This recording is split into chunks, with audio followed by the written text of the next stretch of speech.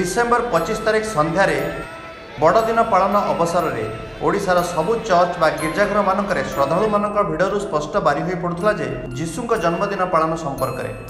Roman Catholic church ହେଉ ବା ବ୍ୟାପ୍ଟିଷ୍ଟ church ସବୁଠି ପ୍ରବଳ ଭିଡ଼ ପରିଲକ୍ଷିତ ହୋଇଥିଲା।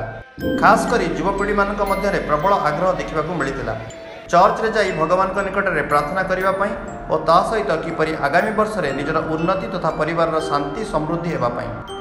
ରୋମାନ କ୍ୟାଥୋଲିକ୍ ଚର୍ଚ୍ଚରେ ମଦର ମେରିଙ୍କ ପାଖରେ କ୍ୟାଣ୍ଡେଲ ବା ମହମବତୀ ଜାଳି ସମସ୍ତେ ନିଜ ନିଜର ମନର କଥା ପ୍ରଭୁଙ୍କୁ ଜଣାଉଥିବାର ଦୃଶ୍ୟ ଯେ ଏତେ ମନୋରମ ତାହା ଶବ୍ଦରେ ପରିପ୍ରକାଶ କରିବା ସହଜ ନୁହେଁ। ଚର୍ଚ୍ଚ ମଧ୍ୟରେ ଓ ବାହାରେ ବିଭିନ୍ନ ପ୍ରକାରର ଆଲୋକସଜ୍ଜା ନିକଟରେ ନିଜ ନିଜର ସେଲ୍ଫି ନେବା ସହିତ ପରସ୍ପରକୁ ଯୀଶୁଙ୍କ ଜନ୍ମଦିନର ଶୁଭେଚ୍ଛା ଦେବା ମଧ୍ୟ କିଛି ଜଣ ମୋବାଇଲ ଓ କ୍ୟାମେରାରେ କଏଦ କରୁଥିବାର ଦୃଶ୍ୟ ନଜରକୁ ଆସିଥିଲା। ସେହିପରି ଅତି ଶୃଙ୍ଖଳାର ସହିତ ଚର୍ଚ୍ଚ ମଧ୍ୟକୁ ଯାଇ ଲୋକେ ଯୀଶୁଙ୍କ ନିକଟରେ ଦର୍ଶନ କରିଥିଲେ। ବ୍ୟାପ୍ଟିଷ୍ଟ ଚର୍ଚ୍ଚରେ ମଧ୍ୟ ଆଲୋକସଜ୍ଜା ସାଙ୍ଗକୁ ଅନ୍ୟ ବିଲ୍ଡିଂ ଗୁଡ଼ିକରେ ଆଲୋକସଜ୍ଜା ସମସ୍ତଙ୍କୁ ଆକର୍ଷିତ କରିପାରିଥିଲା।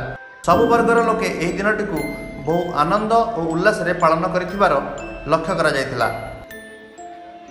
ତେବେ କରୋନା ମହାମାରୀ ପରେ ଏହା ହେଉଛି ପ୍ରଥମ କରି ବଡ଼ଦିନ ପାଳନ ଯାହାର ଫଟୋ ସବୁ ସାମାଜିକ ଗଣମାଧ୍ୟମରେ ଖୁବ୍ ଜୋରସୋରରେ ଦେଖିବାକୁ ମିଳୁଛି।